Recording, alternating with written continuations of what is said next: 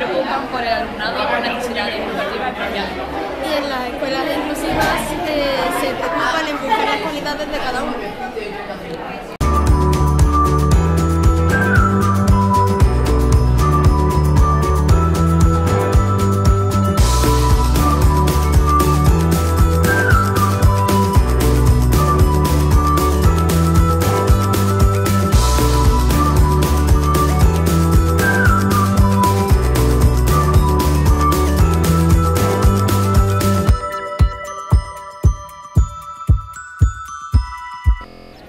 Las diferencias entre la inclusión y la integración tienen diferencias muy notables, pero las que más para mí destacan son que la inclusión intenta que todos los alumnos trabajen por igual, se esfuerza con todos los alumnos, mientras que la integración tan solo se centra en los que tienen necesidades especiales.